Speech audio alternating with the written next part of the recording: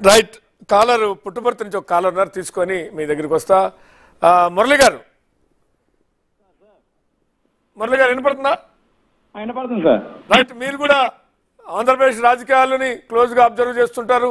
మా డిబేట్ కూడా big TV debate కూడా చూస్తుండొచ్చు. మీ అభిప్రాయం ఏంటి? జరుగుతున్న పరిణామాల మీద?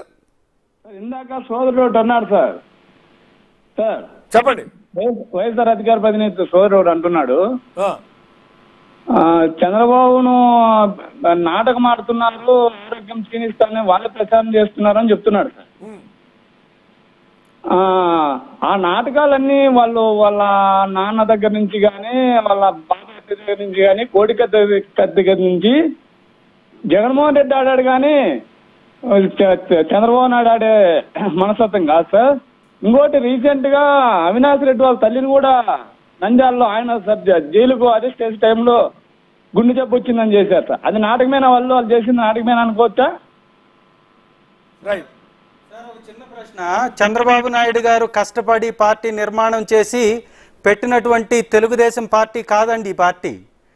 ఇది నాటకాలు ఆడి ఎన్టీ రామారావు గారి దగ్గర నుంచి లాక్కున్నటువంటి పార్టీ. ఇది మీరు నాటకాలు ఆడడము పార్టీని లాక్కోవడం ఉన్నటువంటి పార్టీ అతంది కాదు. ఏపీ రాష్ట్రంలో ఉంటున్నటువంటి ఇళ్ళు అతంది కాదండి. లాక్కొని నాటకాలాడి రాజకీయం చేసేది ఎప్పుడు తెలుగుదేశం అధినాయకుడు చంద్రబాబు నాయుడు గారు. బహుశా మీరు ఆంధ్ర రాష్ట్రంలో ఉండరు కాబట్టి మీకు ఏమీ తెలవట్లేదు లాగుంది. జైల్లో ఉంటే పాదయాత్ర చంద్రబాబు నాయుడు గారి మీద జైల్లో ఉన్నటువంటి. చంద్రబాబు గారు జైల్లో ఉన్నటువంటి అంశం మీద మీ దగ్గర సబ్జెక్ట్ ఉంటే మాట్లాడండి సార్. జగన్మోహన్ రెడ్డి గారు జైల్లో పెట్టారు. జైల్లో. పెట్టిన తర్వాత కేసులు ఒక్కొక్కటి వీగిపోతున్నాయి. minute, ఒక్క కేసు లేదు ఈ రోజు అటాచ్ చేసినటువంటి ఆస్తులు రిలీజ్ అవుతున్నాయి. పరిస్థితి ఉంది. సొంత చెల్లెల్ని.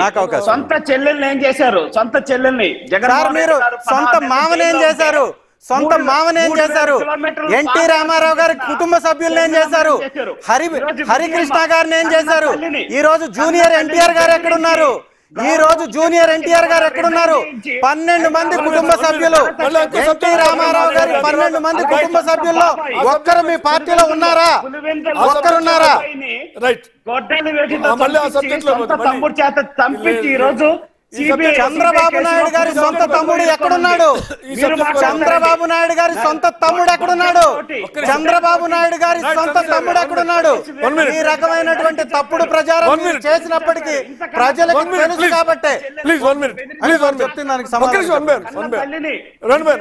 బలవంతంగా భయపెట్టి గౌరవ అధ్యక్షురాలుగా రిజైన్ Right. చేయించి ఈ రోజు హైదరాబాద్ పంపించిన పరిస్థితి ఇవన్నీ మానుకుంటే మీకు మంచిది. ఈ రకమైన తప్పుడు ప్రచారం. రెండు. వందల ఇరవై నాలుగు సీట్లతోటి. మీరు పార్టీని లాక్కుంటే ఇవాళ మీ స్థాయి ఏంటి సార్. ఇరవై మూడు. ఇరవై మూడు సార్. ఈ ఇరవై మూడులో. ఒక్కటన్నా నిలబడితే చాలా సంతోషం. దాన్ని చూసుకోండి మీరు. రైట్ ఒక్క నిమిషం చంద్రశేఖర్ సారీ శ్రీకాంత్ గారు. రైట్ మళ్ళీ ఇవన్నీ డ్రామా సార్ చాలు చాలు మీ డ్రామాలు చాలు సార్. రైట్. తెలుగు డ్రామాల పార్టీగా మీరు మారిపోయినటువంటి విధానం ప్లీజ్. ప్రజలకు స్పష్టంగా కనపడుతుంది. వాళ్ళు కోడికత్తి.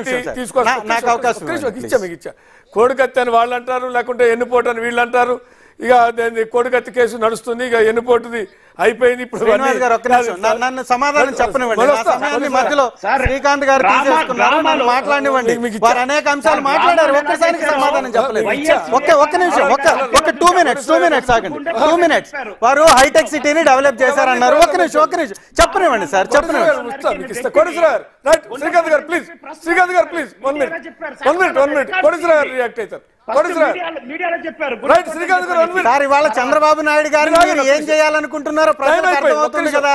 చంద్రబాబు నాయుడు గారికే స్పాట్ పెట్టినట్టున్నారు మీరు. గారు మాట్లాడినా. చంద్రబాబు నాయుడు గారి మీద ఆ విధంగా మాట్లాడుతున్నారంటే ఆయన నేను బేషుగ్గా ఉన్నానని చెప్పిన తర్వాత మీరే తలపెడుతున్నారా. మీరే తలపెడుతున్నారా ముప్పు. డిపార్ట్మెంట్ నమ్మం. జుడిషియల్ కమిటీ సమక్షంలో తెలుగుదేశం వ్యక్తిగత డాక్టర్ని పెట్టి, ఆయనకి డాక్టర్ని చంద్రబాబు నాయుడు గారి యొక్క ఆరోగ్యం మీద. ఏదో ఒక రకమైనటువంటి తప్పుడు ఒప్పుకునే ప్రచారాన్ని ఆగాలి సూచిస్తుంది? ఏదో ప్రమాదం ప్లీజ్ రియాక్ట్. మీరు ఈ విధమైన ఆగండి ఆగిపోవాలి. మళ్ళీ మీరు స్టార్ట్ చంపిన చేయకండి. వ్యక్తులు. శ్రీకాంత్ గారు ఒక్క నిమిషం ఆగాలి. మీ పార్టీ ఒక్క నిమిషం ఆగాలి. చంద్రబాబు శ్రీకాంత్ నాయుడు గారు. ఏదైనా చేస్తారని ఆగాలి మేము ప్లీజ్ ఆందోళన కోటి సార్. చెందుతున్నాం. రైట్ వాళ్ళని ఆపమనండి. అదే అదే ఆత్మాను చెప్- చెప్పండి.